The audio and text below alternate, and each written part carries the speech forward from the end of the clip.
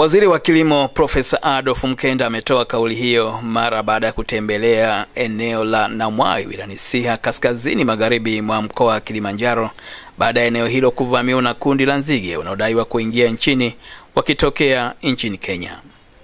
Profesa Mkenda amesema ingawa nzige hao bado hawajaleta madhara kwa mimea na vyakula tangu wadudu hao waingie nchini, lakini amelitaka shirika la kupambana na nzige ukanda wa Afrika Mashariki kuongeza juhudi katika kuwakabili nzige hao.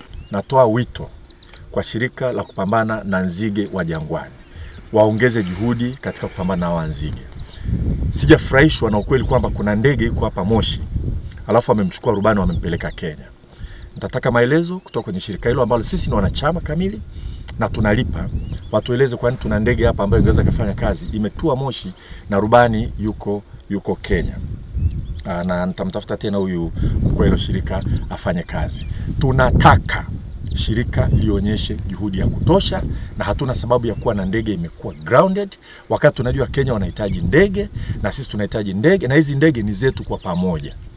Kufuatia kuwepo kwa uvamizi wa kundi la nzige nchini, Wizara ya Kilimo sasa inakusudia kununua vifaa maalum vitakavyokuwa vinafuatilia mienendo ya wadudu ama ndege waharibifu. Kwanza kwenye bajeti ya mwaka huu uh, tutanunua um, drones uh, drones za kwenda kumonitor kufuatilia nzige kwelea kwelea na hawa nani waharibifu wa, wa, wadudu ndege na kadhalika ambao wanaruka na kuhamahama. Uh, tutanua drone za aina mbili, moja ya kuhakikisha kwamba tunafuatilia, lakini tutanua drone nyingine ambayo ina uwezo wa kumwaga sumu.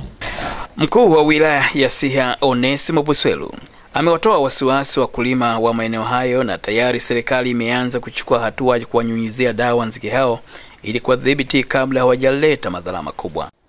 Wataalamu wetu na wizara ipo site kuhakikisha kwamba hakuna nzige na baki.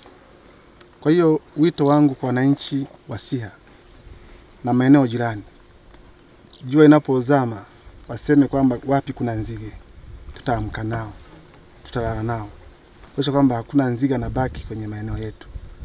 Mwishoni mwa mwezi Januari mwaka huu, nzige hao walionekana kwa mara ya kwanza katika baadhi ya maeneo ya wilaya ya Mwanga mkoani Kilimanjaro na baadaye wakaambaa katika wilaya ya Simanjiro na sasa wako katika maeneo ya Longido mkoani Arusha na katika baadhi ya maeneo ya wilaya ya Siha mkoani Kilimanjaro. Zefania Renatus, Star TV, Kilimanjaro.